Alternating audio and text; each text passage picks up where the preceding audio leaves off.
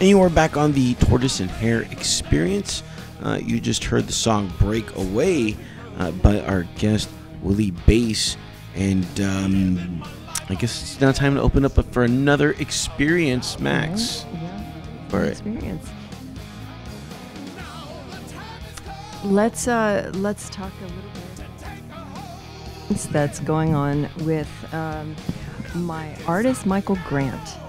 Oh, I heard about this. Yeah, you know, this is what I, want to warn um, all of the musicians out there. If you are going to carry anything with you outside of Los Angeles, it's illegal. Define, define carry. Um, you know, he didn't have anything of any, uh, you know, m- mass substance on him. He was just going over the border in Canada and um, got popped with a little, little something, something, and uh, spent the night in jail. And Smoking. yeah, you know. Sometimes, you know, when you're on tour for a long period of time, Made a good press know, release.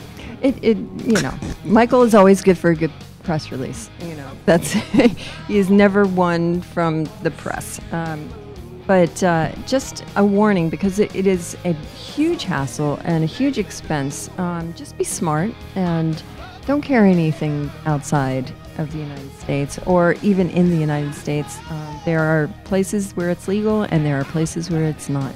And um, you know just use your brain and um, but we're you know wishing michael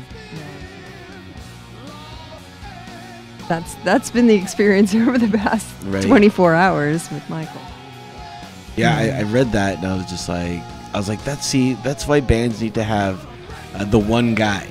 right you know, the the one, one guy that, that carries yeah, the one guy that carries it. That's just like, oh, you were carrying, we didn't know. yeah we didn't know but you know it is it's a huge hassle and then you're not allowed back into uh, canada so now you know the la guns tour can get messed up because of that so you gotta you gotta think gotta think ahead it's not worth That, hap- it that happened to Paul McCartney too. absolutely it did it's happened to almost Yeah. all of our musicians But I think he got back in there somehow within Well, the he's last Paul couple of McCartney. years. But it's been what 20, Yeah, 30 years that yeah. he had to lay out. yeah it was really rough Yeah. it was really rough and it wasn't like he had a lot That's a on big him market as too well to lose. Yeah, you know. it is, and um, and it's sad, uh, you know, and that's another reason why you know Kara was talking earlier about legalizing uh, cannabis and cannabis oils, you know, for those kind of medicinal purposes um, throughout the United States and the world, so that you know it's helpful instead of you, you know, spending a lot of money going to jail for a, a really ridiculous thing. Okay. So, what's your experience? My experience um, is I've been uh, occurring, occurring, is that the right word? I don't know. A re- a re- recurring a lot of debt, I guess. Uh, I'm Mhm. usually not a big debt guy. Usually, the, Yeah. you know, the only debt that I carry is just you know car payment. Yeah.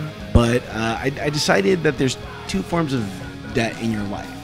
There, there's the good debt and there, there's the bad debt. The bad debt is all just like you know when you owe you know tons of money for shit that you don't need, that you don't want, that you don't have to have. There's the good debt, like you know I went into debt because I needed dental work. so sure. th- th- that's a good debt. That's something that I'm like, okay, you know what? I can s Mhm. foresee myself going into to debt for something like that. Right. School loans. School loans, exactly. Um, I, I just recently went out and I purchased a, a brand new um, flash for my camera. Right. That's you know. You know, that's a good debt. Yeah. And then um, I uh, just uh, picked up a new lens as well. And uh, so now I I owe you know about two grand in debt, you know, in good debt and bad debt. I don't have any bad debt. So right now, you know, if if I was to you know, if they were to say how much debt do you have, I'd be like two grand. And so uh, it- it's funny because like two months ago, I had just finished paying off uh, my other debts that, that I owed, uh, and that was for my car, my car, because I got into uh, my tires needed to be realigned, and and I needed new tires all at the same time.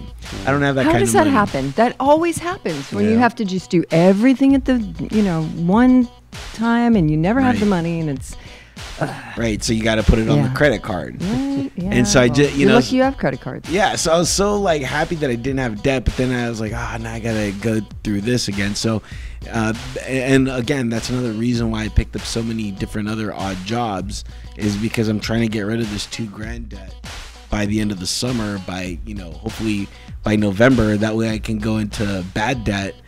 Right. so I can buy my you know my nieces and nephews some some gifts for Christmas. You know, make them make them presents. You need more. Take them to a game. Yeah, I, I could do that, but um, in, in December there are no games to go to.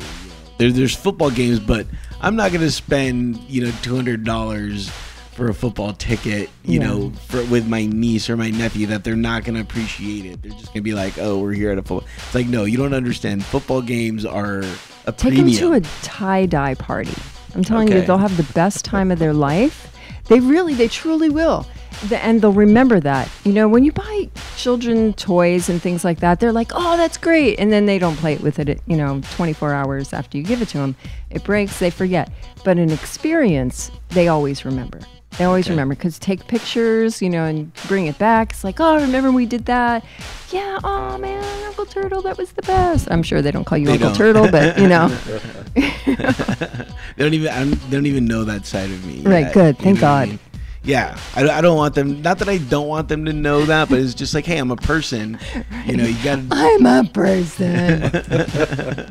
you know. So, so that's what I've been experiencing. Uh, Willie, um, we've shared a, an experience. Uh, what experience have you been going through? As far as debt, Any experience. It doesn't have to be about debt. um, been real grateful lately. Heart attack uh, a year ago. Everything stopped on a dime, and I had to make some changes. Grateful to be here, be around, and to experience life. Yeah, Definitely. with or without debt. Right. yep. Yeah. Yep. Just waking up in the morning and, and just being grateful. Oh yeah, That's it's you know I'm so grateful for normal simple things like air to breathe, sun shining, being Yeah. able to walk, swallow. That hat. Solo. It's amazing. Yeah. Yeah, very cool. It's, No, it's no more big deals. You know, really, They really aren't. What's a big deal for you? Like, you know, on an, on an Words, everyday. words, Words, yeah. are, yeah. Nice. Uh, I know I've that always have, valued words. I guess in being a singer, you know, Right. um, words mean things. right. And you're multi-talented. Thank you you. Well, you know, I'm, I'm stating the facts am? here. stating the facts. No, you you are so well accomplished and um, have been through, you know, rock and roll history. You, you know, truly, you know, work in the streets, and you know, I don't know if if you live in Los Angeles, you will see Willie Basse's van rolling down the street with this big it, it's awesome you know you've played with some of the greatest bands in history and um, made a mark and you continue to do so i know you have a new project coming out that's so That I can't talk about. right Great. darn it Off the couch. But I've, I've Right. got Tawn Mastrey experiences, you Yeah, know, which, which were really cool. were you on her Yeah. show I remember if we were on the show or not, but I remember her emceeing or something at the country club. Along about then was when Black Sheep was headlining everywhere, hmm and I had Slash in the band. It's always very nice to me. right yeah she's a great woman Yeah, she was good. Cared, and she knew a lot about rock, metal, you know, and what was going on. You know, I knew her in the KNAC days and also the pirate radio days. So uh, it was just devastatingly shocking to find out uh, that that she had the disease. yeah it seemed to have happened Don't so don't get it, quickly you know. so quickly that's you know another a testament to Well, yeah, we've got to pay stuff. attention. That's what I gained out of, you know, nothing else out of my heart attack is is that we really need to pay attention to our bodies and the little signals because when something's not right, your body will usually tell you. Mm-hmm. You know, you'll get warning signs, and ignore, there's consequences. Right. man. And uh, you, You know, a lot of musicians don't realize that because when they're on stage, they're doing a lot of damage to their bodies. You know, whether they're uh, jumping up and down in the wrong way, um, Mm-hmm. you know, running back and forth. They're not hydrating. You Well, we can, you know, musicians, we don't realize it, but just breathing the wrong way could, Exactly. could- is, you know, not good. You see these guys breathing from the top of their chest. Right, and then they go you out and they smoke cigarettes. Yeah, it's You not, know, not and they're good. oh no, it, it makes me it makes me have you know, like more girth. No, with from girth that wasn't the right when, word. when I breathe, I use my whole lung. I breathe from the from Your the diaphragm. top of my lung all the way down every every breath. Even if I'm just singing a, a short quiet part, I use my whole lung. right. So uh, you know that's that's real important. The breath support. It's like being a fighter. If someone's gonna you know punch you in the stomach, you know you you you brace for that. You know you strengthen your diaphragm. And that's Well, you- that's you the key to not. That's why I can sing and not get hoarse. Like uh, when I was out with Lynch, we did like 28 shows in 30 days or something like that, night after night after night. and I never got hoarse. Yeah, you come from a classical music um, background, so you trained that way first. Um, yeah, I warm up a little bit, you know, but I'm, I don't, I'm not one of those. Like I hear Axl, Axl warms down after the set for like an hour and a half or something like that. I, I, I don't know what that's about, but That's actually a very good thing to do. Um, yeah, no, it is. It is so that you can calm your vocal cords down because it's a muscle, so you want to start relaxing it. You know, and after because of the way that Axl sings and it's um, it's all up in his throat, um, he will blow it out very quickly and develop nodes if he doesn't uh, re-stretch it in and relax it back down. yeah, I try to keep my throat open as much as possible, and I sing from my big. So it's it's not Mm-hmm. Turtle about, does that for too. me. It's Yeah. not about the throat at all. Yeah. to keep that open. But yeah, it teaches on. You know, I mean, just I think that my my breathing uh, definitely helps me get hoarse night after night. It's like w- w- really cool because the more I sing, the stronger my voice gets, and it opens up and. you know, Cracking. Just- I love it. Now, um, I, I saw that um, you are uh, uh, the cultural ambassador to the Sunset Strip. Uh, what does that mean? I was dubbed that by uh, the Channel 5 news guys. So the media Sam- W. Sam Rubin and those guys, you know, it was like, Yeah. you know, I've sang classical, I sang in Carnegie Hall, uh, St. Patrick's Cathedral, Radio City Music Hall. I've done all of this work, and um, all they wanted to know about was the keg parties. it was like all of these accomplishments, you know, uh, the choir I was in when I was young, we won, we received two Grammy Awards. Um, you know, and all they wanted to know about was the party. So, you know, it crazy? is what it is. Take what you can get. uh, but we, you know, we had we had some crazy parties. They were like, you know, three bands, three kegs, and a thousand people. We outgrew my studio, so we had to start.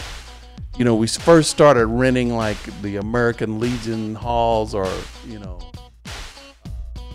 different halls, and then we found out we could rent the whiskey and the Roxy, and that was when uh, you know we started promoting shows uh, at the, the venues Sunset Strip. So kind of kind of pioneer, you know, and then these other the these other promoter people started charging the bands for tickets and stuff. Totally against that. So I would promote my own shows. Right, know. the pay to play. It's a it's a funny thing, you know, because all of the bands um, from the '80s. That's when that really started, and, Mm-hmm. And until now. And and there's no way that these poor guys can, you know, start a band and have that big of a following where they can sell the amount of tickets that they need to to be able to play the you know the upper places. Well, And you could if you work if you work work out a system, you could make money like that. But um, I think that that's not our job. right. You know what I mean? People, the promoters go, well, you you know, you didn't draw in San Diego. It's like, well, what promotion did you do? Well, I went on Facebook and did an invite. That's not promoting, man. Right. You know, I mean, I've been a promoter, I've been an artist, I've been a manager, I've been on all sides of the fence. So, you know, I know what it means to put on a concert and, and you know, run full page ads in the music trades, you know, one, run 250 television commercials and really promote the fuck. You know, it's Right. like so weird. These guys, yeah, well, I did a Facebook invite to 20 of my friends and they call that promotion. Right. So give me a break, dude. A lot Yeah. of going out, flyering, and you know meeting people.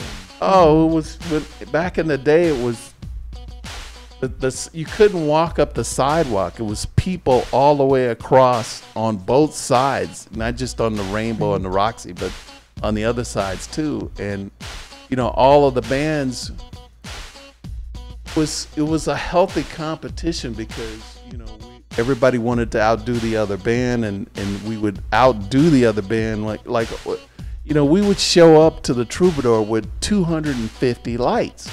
You know what i mean? We had so many lights that we had to tap into the fucking phone pole. We couldn't even they didn't even have enough power at the troubadour to handle our show.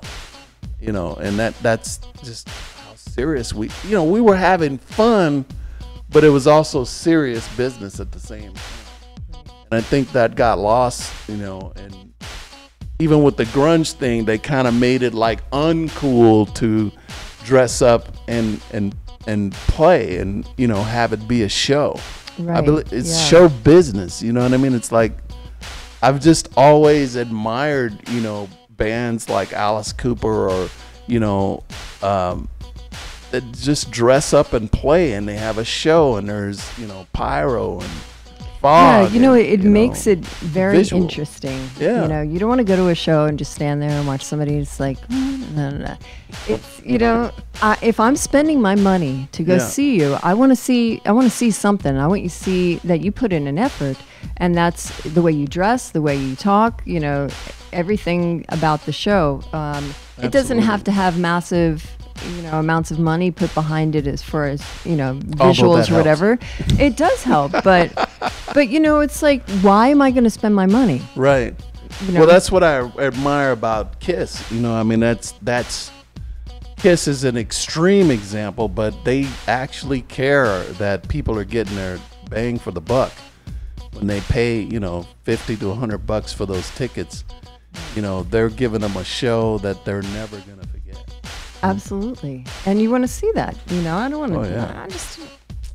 I'll play my own guitar and sing in the mirror if I just, you know, entertain myself. You know, somebody entertain me, entertain me. When I was with Alice, that was like the greatest thing is being part of that show, and you know how much goes into it, and the He the amount of stuff time. going on, yeah, right? Yeah, from from you know the set designs to Yeah. what was going on underneath the stage was a whole Absolutely. nother show you know so it was it was intense and i really appreciated that not only as a performer but also sitting in the audience watching him and, and you know and, and knowing that he's continuing to do that to this day. And cool. yeah and, you know so there's bands like that out there that are are bringing that back and bringing you know the fun shows back. And you know it's not all like you know quick get on stage and play and get off. You know it's it's more you know let me give you what you came for Yeah. yeah, so we, you know, we want to encourage. Rob them. Zombie's another one that I really admire. Played Rocklahoma a couple of years ago, and uh, I believe Rob was one of the headliners. I think Chickenfoot was the headliner, but he showed up with three semis, and I'm like, "Damn, what's he get? What what's he got? Yeah. And three, what does it take to have three semis of gear? You know, and we're at Awesome. Rocklahoma, and they're providing everything. You know, and uh, It it was it, it was just a great dynamic show, and and It was like if you looked over to the left three seconds too long, you'd miss what happened on the right, and it was just never a dull moment. And those guys kicked ass. You know, he he had to have at least now I'm saying at least a million dollars worth of LED, you know, screens. Mm-hmm. Of course. I mean, everything was covered with with the LEDs. Even even John Five had a guitar that was a LED screen. Oh, that's so cool. so it was like unbelievable and just on and cracking and never a dull moment. That makes it really, that. really fun. Yeah. And you know, at that time, you don't realize that how many people were affected when you know the whole grunge scene came in. And no disrespect to grunge, because I like the music. Well, no, let's But, let's you throw them under the bus. All right, okay. So let's know, throw them completely under the bus. Um, like like Ted Nugent was like, no, I was I think Simmons said, yeah, well, Kurt Cobain just tell him to make the check out to me, you know, and if he doesn't want the success, if he doesn't want it, then, then you know Nugent we're happy like, to take you it. know, fuck Yeah. that guy. But you know, there was all these other people that were affected by that, from you know the designers for the clothes to the Oh, set yeah. designers to you know the wardrobe mistresses. All of these people had families, and all of a sudden, all of that was gone. Well, and you now know, you know, Eddie Vedder didn't really drive a VW bus. He had the Porsche in the back. right? You know, exactly. he was trailing it. Yeah. Yeah, so, that's- uh, that's true. You know, I, I just part just- of it's bullshit. Well, that know. just goes to show you how powerful that movement was. It really was. It was You know? very, very powerful. And now it's done, please. And can we bring back the rock and roll? I don't know. Music is always cyclical, so it'll, I just, you know, I. I really want to Sure. hear some rock. Okay, That's- well, let's hear some I wanna rock right now. I think that's a good idea. Okay, uh, we're gonna hear some more from Willie Basse as uh, we hear "Tears Are Falling," and then we're gonna have more with our guest Willie Basse. And wait, can I say something real quick? No, no, No, don't no, say no speaking for you. Go ahead. No, Tears Are Falling. Uh, this was an effort that I did with uh, a, writer, uh, a journalist out of Canada. His father-in-law passed of cancer, and so uh, we got together to fund the hospice that took care of his father-in-law. Uh, when we started doing it, the, the album was. Um, can't remember the name of the album now, but we did we did an album. It turned into a double album, and everybody and their brothers on the album. And this was my song that I contributed for Cancer Care. Thanks for having me on. I wanted to say that uh, that was from an album called uh, For the heroes, the, uh, Wor- A World with Heroes. There's There was a Kiss song called World Without Heroes. So uh, this is a take world a world with heroes. It was a a uh, Kickstarter program to benefit a cancer hospice in Canada.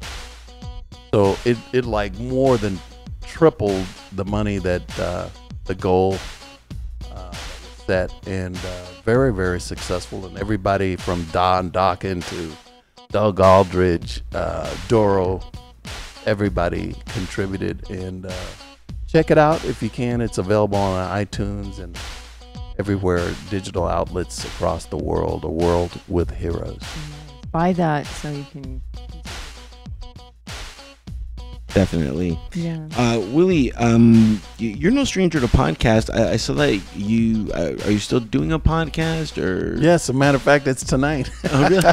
I do Tuesday nights. okay, and, and what is it? Is it a podcast somewhat uh, like this experience, or is it?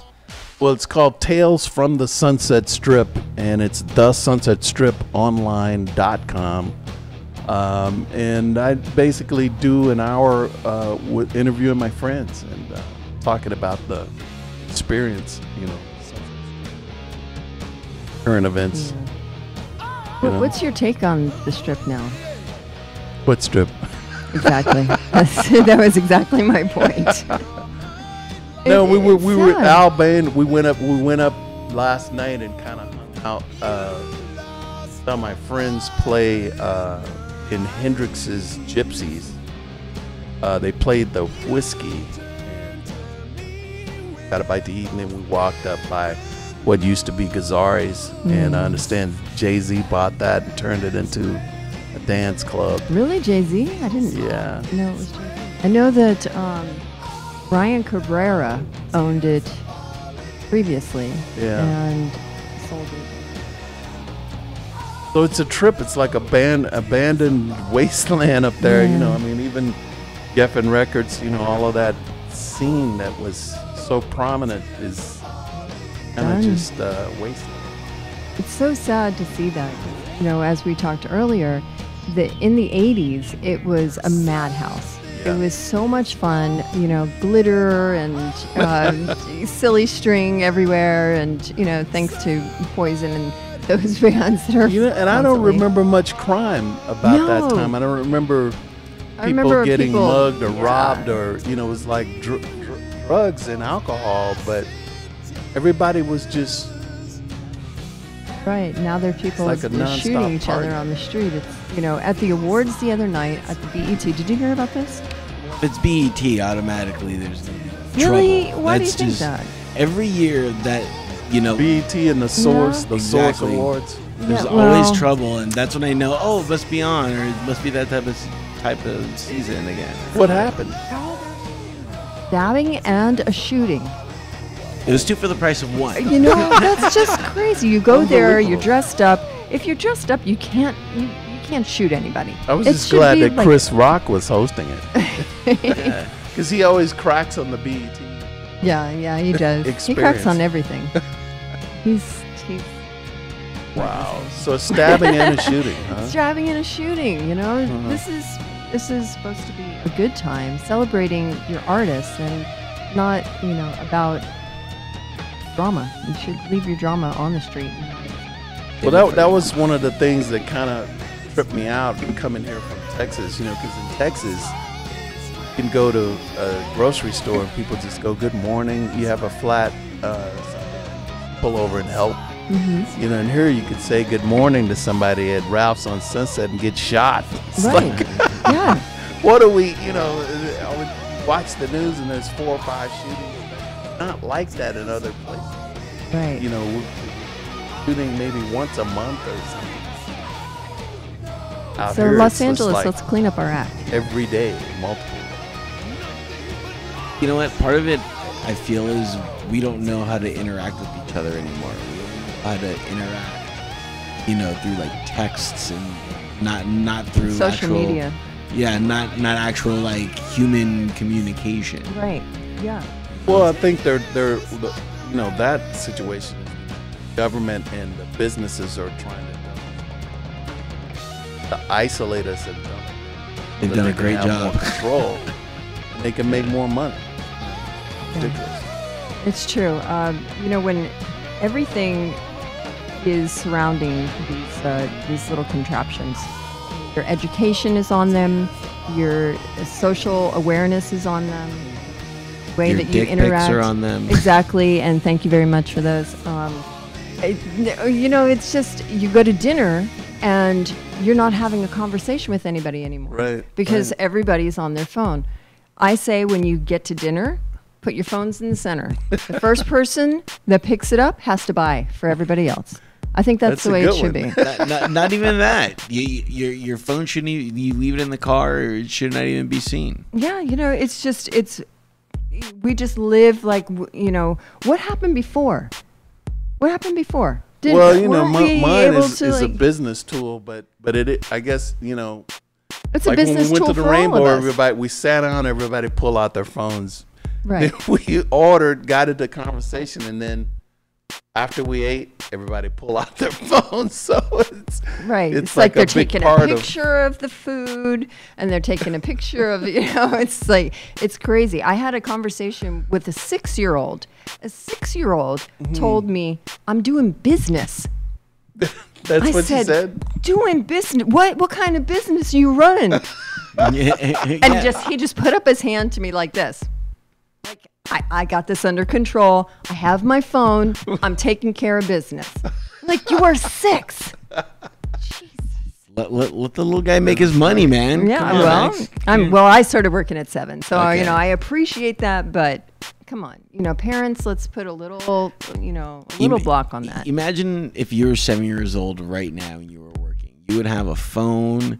You you would you would be the antithesis of that person. Ugh, Well, I had a paper route when I was about that age, making yeah. And I guess if I had had a smartphone, I could have really blew it up. You would have had people delivering for you, and you would have been doing nothing. Right. That's right. You wouldn't have even seen a bicycle.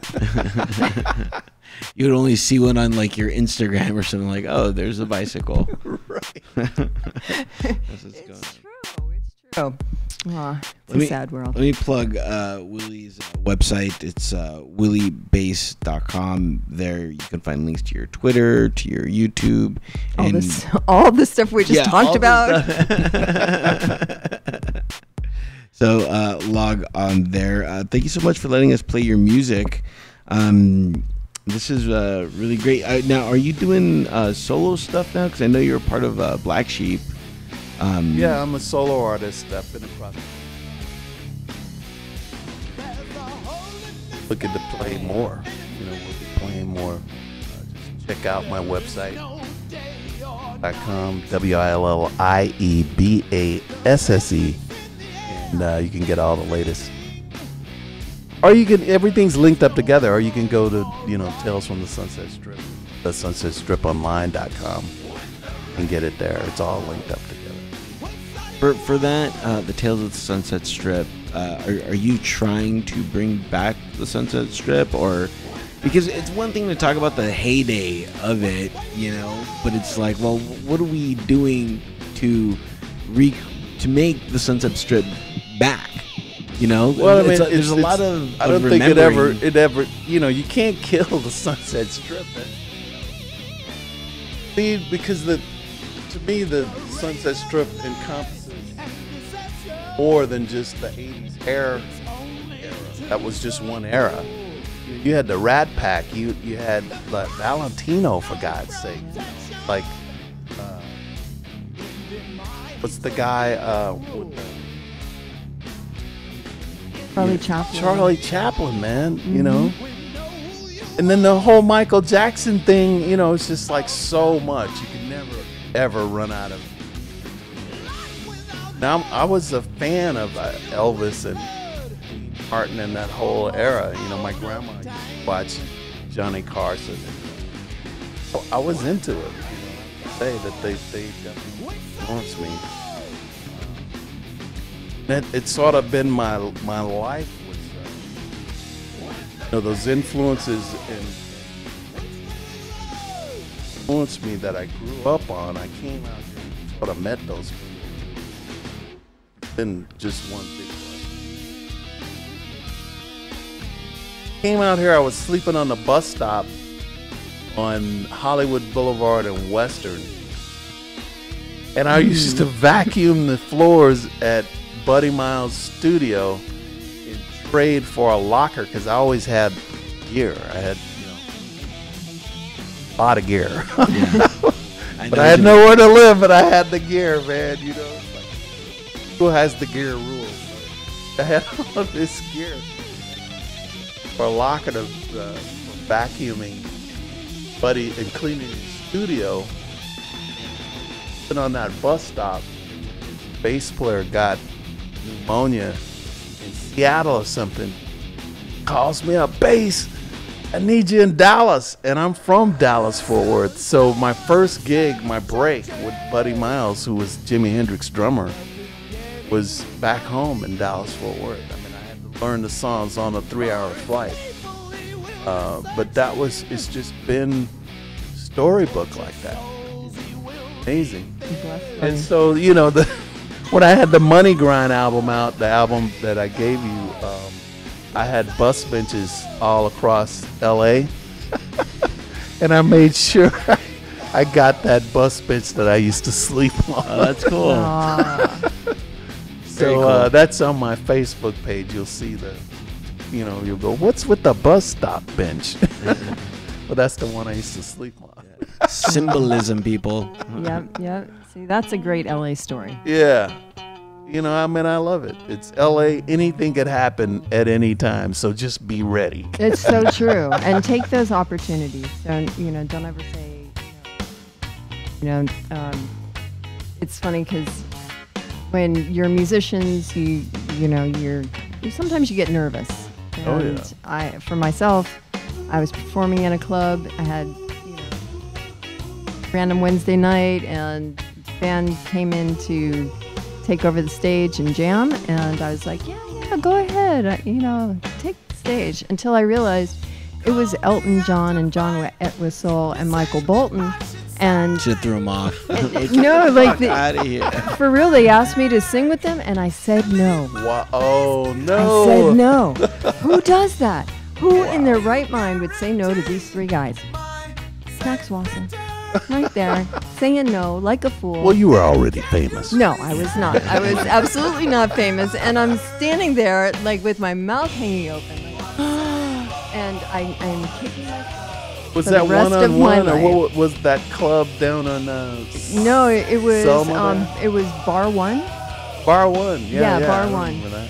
Yeah, and um, daughter Danny constantly brings that up and throws it in my face. Well, you didn't do that.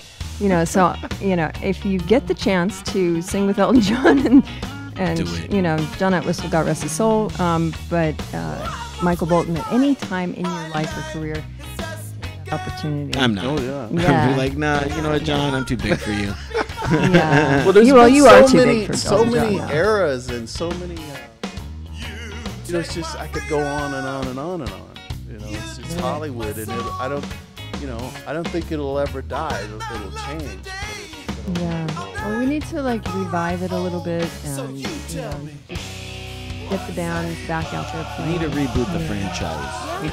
That's that's what we need to do. You know, here at NoHo 2 in North Hollywood on Burbank Boulevard, they are encouraging all these cool young bands to come in. There's um, there's a, a night it's called Town Town Thursday that they hold here as an open mic. oh wow. And just, you know, Mark Doty's doing such a great thing with like encouraging these new young bands and getting them out there. And, you know, and from here they end up on the strip and, you know, and in big, you know, arenas. Um, uh, a local favorite here is uh, Mitchell Schaefer, who has signed with Monster and is um, he's tearing it up. He's doing great things. Mitchell was you know, on our show.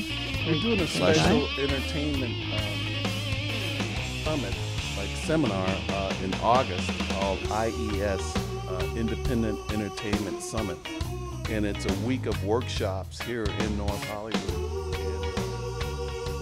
And every year they block off from like Burbank all the way to uh, Magnolia or a little bit beyond all the studios and the movie. They cover movie, movies, you know, music, modeling, the arts. So uh, IES, uh, Independent Entertainment Summit, and uh, I'm gonna uh, honor John Bouvois and Mickey Free this year. So I wonder who be might really be cool. singing with them. I don't know who the other honor honorees are. Sure. Who do you think might be singing with Mickey Free and John? Who knows? I wonder.